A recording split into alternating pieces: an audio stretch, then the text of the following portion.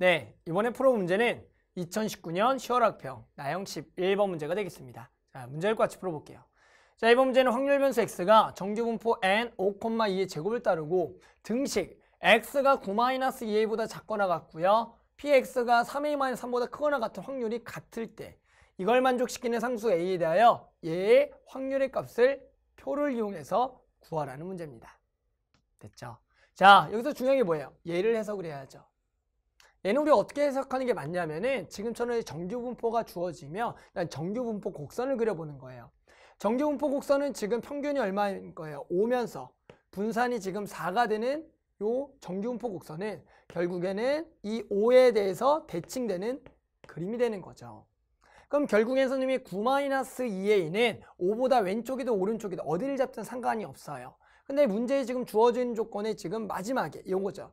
요렇게 여기 서 있으니까 얘가 작고 얘가 큰 거니까 기본적으로 5를 기준으로 얘는 9-2a를 요렇게 왼쪽에 좀 잡읍시다. 알았죠?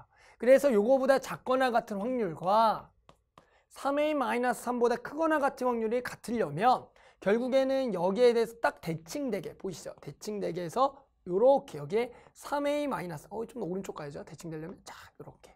그래서 여기에 3a-3이 돼야지만 이렇게 되면 이 우리 정규분포 곡선의 성질에 의해서 5에서 대칭이니까 이 요거보다 작거나 같다 요거보다 크거나 같다가 같다, 어, 같아진다는 거죠.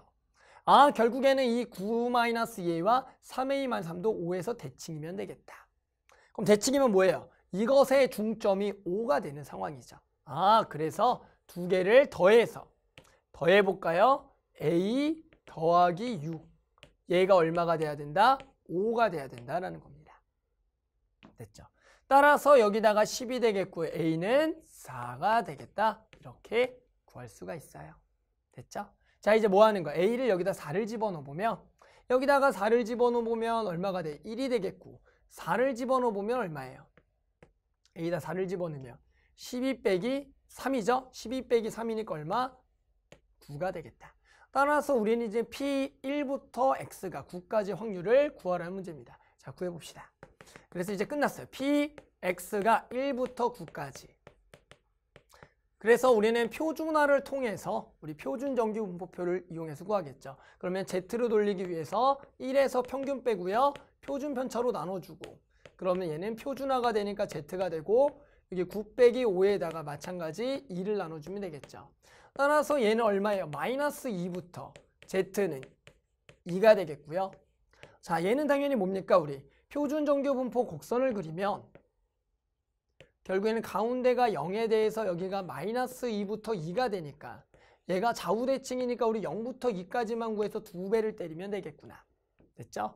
따라서 얘는 두 배가 될 겁니다. 그럼 우리 0부터 2까지는 우리 표를 보면 나와 있어요. 0.4772라고.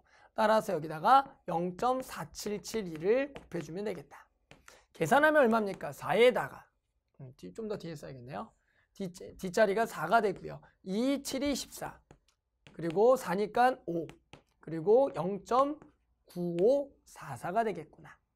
됐죠? 그래서 만족하는 다 얼마? 0.9544다. 이렇게 답을 구할 수가 있었습니다.